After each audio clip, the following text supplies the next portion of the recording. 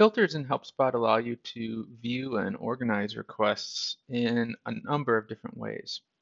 Filters are all listed over on the left-hand side panel here.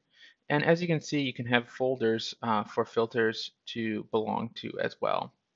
So a great example of a very simple filter is this all open filter that I already have here. I'll just go ahead and click on that. And as you can see, this filter is going to show me all of my open requests inside of HelpSpot, regardless of who they're assigned to. Filters are going to look very similar to the inbox or my queue areas of HelpSpot.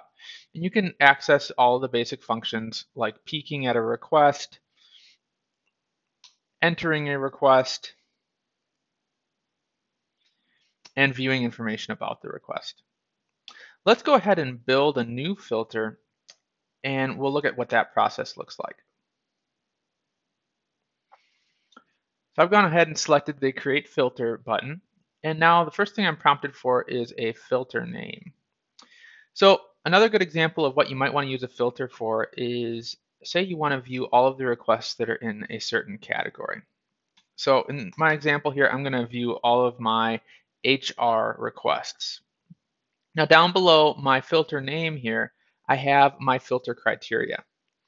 Currently, this filter is going to show all requests that are open.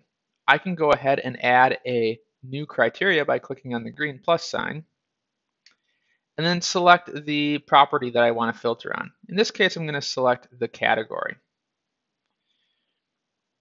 Now I'm going to go ahead and select my human resources category. Now I can go ahead and run this filter and see my results. Now if this looks all good at this point, I can go ahead and save this filter.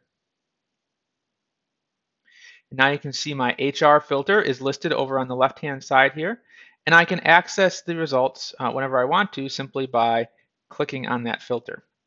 Now let's say I wanted to go ahead and make some changes to this filter to customize the information a little bit more. To do that, I'll go ahead and click on the Options button and then choose Edit Filter. Now I'm brought back to the same interface where I was before, uh, and I can begin editing this filter. So one thing you might want to do with a filter is not just have it for yourself, but share it with uh, other people who are using HelpSpot.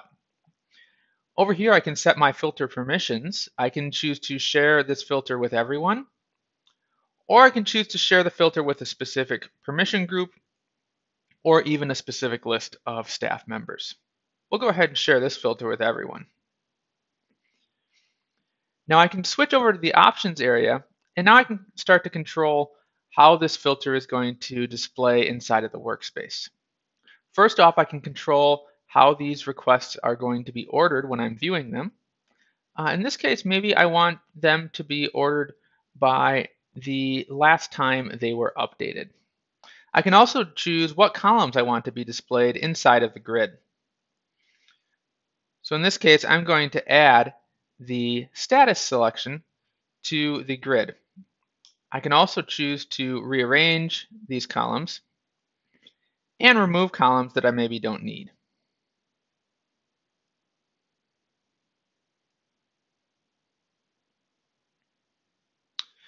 Down below, I have a number of other view options.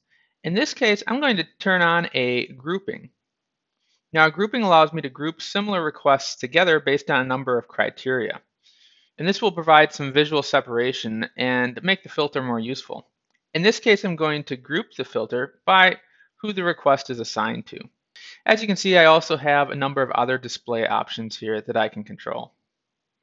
I'll go ahead and save my edits. And now you can see that my filter looks significantly different. I have my new column set up that I selected and my new grouping that I have selected too. So now all of the requests are grouped by who they are currently assigned to. Now it's good to be aware of some of the other functions that you have once you've created your filter. First off, I can switch my view over to a note stream view. Now this is going to change the view from the grid view that we were just looking at over to a live stream of all of the updates to the requests that meet these criteria. So instead of grouping all of the uh, updates by the request ID, this is a chronologically ordered list. This is great if you're just trying to see what's happening in a number of requests all at once.